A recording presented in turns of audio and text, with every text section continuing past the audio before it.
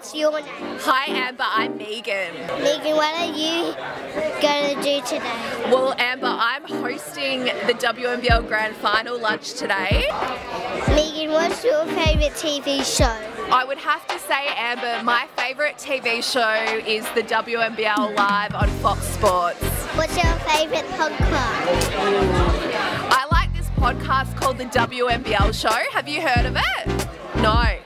I think you need to do yourself a favour and listen to it. I think you'll love it.